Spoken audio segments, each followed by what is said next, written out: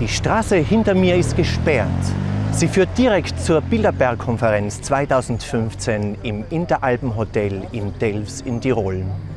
Etwa 120 führende Persönlichkeiten aus Politik, Wirtschaft, den Medien und aus der Wissenschaft versammeln sich dort in diesen Stunden. Ganz geheim. Deshalb sagen manche, die machen sich hinter verschlossenen Türen aus, wie sie die Welt regieren. Andere wieder sagen, das ist ein ganz normales, diskretes, informelles Treffen von Führungskräften. Ich meine, diese Versammlung, die Bilderberg-Konferenz, hat das Potenzial, den Verlauf der Dinge in dieser Welt zu beeinflussen. Ich wünsche den Versammelten der Bilderberg-Konferenz, dass sie sich ihrer Verantwortung bewusst sind.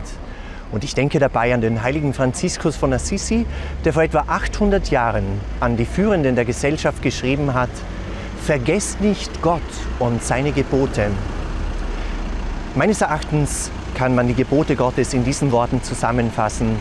Mensch, bedenke, dass du die Aufgabe hast, Gott zu lieben und den Nächsten zu lieben wie dich selbst und mit der Natur verantwortungsvoll umzugehen.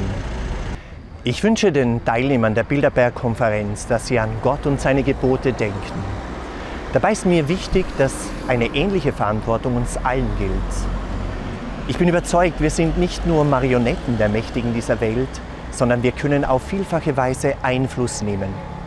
Deshalb haben wir Franziskaner in Delft zum Beispiel auch mit unseren Gebetsgruppen gebetet für die Teilnehmer der Bilderberg-Konferenz. Denn ich glaube, dass wir mit unseren Gebeten den Führenden dieser Welt helfen können.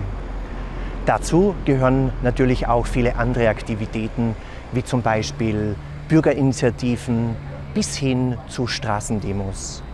Ich wünsche uns, dass wir erkennen, dass das, was Franziskus von Assisi den Mächtigen der Welt geschrieben hat damals, dass das heute uns allen gilt. Denke an Gott und denke an seine Gebote.